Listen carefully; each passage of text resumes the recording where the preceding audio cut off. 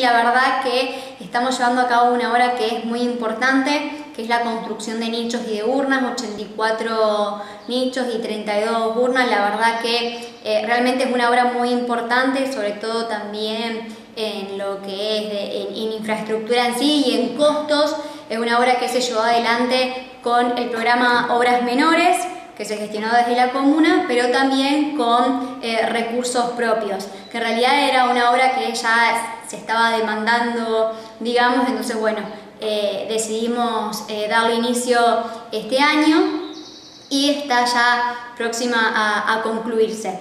Sin dejar de hacer mención a los trabajos de, mantenimiento constante que se están haciendo en este espacio que es, como te digo, es sumamente importante para la localidad, es un lugar muy, muy sentido también, entonces se trata de que reúne las condiciones necesarias para que también sea un espacio de contención para quienes eh, visitan el, lugar, se hacen trabajos de mantenimiento en el, en el predio de manera constante, en lo que es el parquizado, la parte de las plantas y de las flores, como así también en el último tiempo se pintaron todas las tumbas del cementerio y eh, también se hicieron trabajos de mantenimiento, eh, reparación y pintura del de, ingreso del cementerio y del tapial.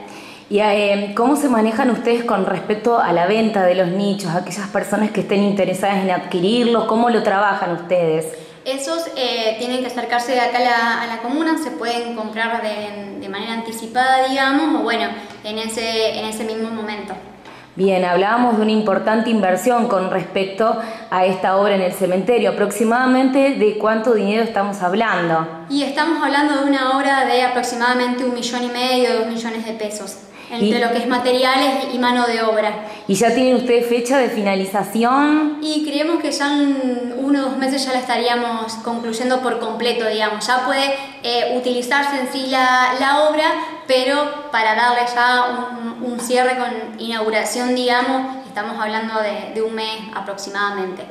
Y hablando además de otras obras y la adquisición de maquinarias, me decías que ustedes en este momento adquirieron una motoniveladora. Sí, en el transcurso del año, a través del programa Promudi, que es financiamiento para municipios y comunas, eh, adquirimos una niveladora articulada de arrastre, que es para hacer trabajos en, el área rural de, la localidad, que esta maquinaria se encuentra hoy ya eh, en la localidad a disposición, digamos, y para poder empezar a hacer eh, los trabajos en, la zona rural. Previo a ello tenemos la intención de poder capacitar al, personal sobre el uso de, esta maquinaria ya que tiene algún sistema nuevo respecto de la que existía, de la que existe ahora y está en funcionamiento en el parque de herramientas de, la comuna.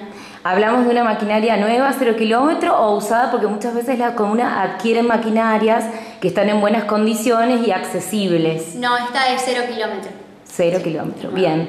Y llegando a la comuna de San Carlos Sud se puede ver el galpón donde se realiza la división de eh, los que son los residuos, la selección del orgánico e inorgánico. Contame cómo lo están llevando a cabo, cómo es la reacción y la participación de todos los vecinos y de la comunidad. En el mes de mayo se tomó la decisión de empezar a hacer la recolección de residuos eh, diferenciados, digamos, los días viernes y los días lunes y viernes se recolecta el residuo eh, domiciliario o no reciclable y los días miércoles, más precisamente los martes a partir de las 7 de la tarde, el vecino puede sacar lo que son los residuos reciclables.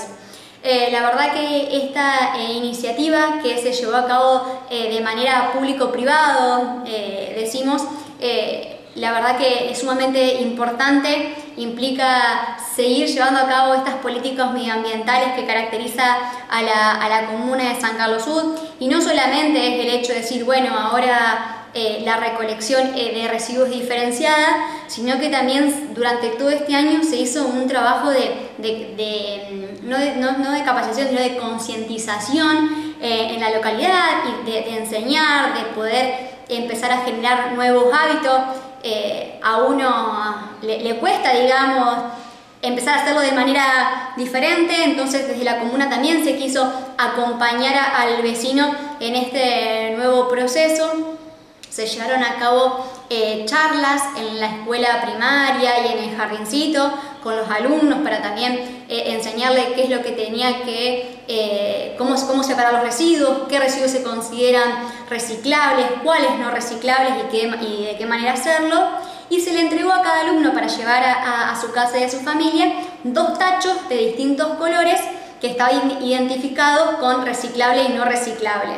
Eso por un lado. Y por otra parte, en este último mes, mes y medio, casa por casa se fue entregando un folleto y una, una persona que era licenciada en saneamiento ambiental se tomó el trabajo de ir eh, explicándole también al vecino eh, cómo hacer la separación o incluso preguntarle si tenía alguna duda respecto de cómo hacerlo o alguna sugerencia o algún aporte respecto a esta nueva, a esta nueva eh, modalidad en la separación de residuos que se había comenzado a principios de este año.